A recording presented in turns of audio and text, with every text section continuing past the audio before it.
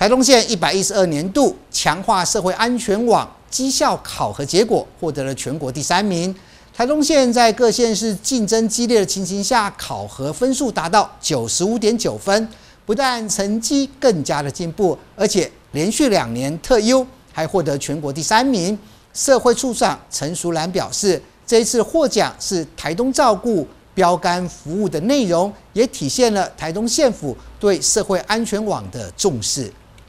台东县一百十二年度强化社会安全网绩效考核结果获得全国第三名，而台东县在各县市竞争激烈的情况下，考核分数九十五点九分，不仅成绩更加进步，且连续两年特优，还获得了全国第三。这次考核结果绩效优良，副县长王志辉代表县长饶庆林感谢社政、卫政、警政、教育、原民、民政、法务以及所有投入社安网的社工以及伙伴们。台东县考核分数九十五点九分，获得全国第三，相当。不易。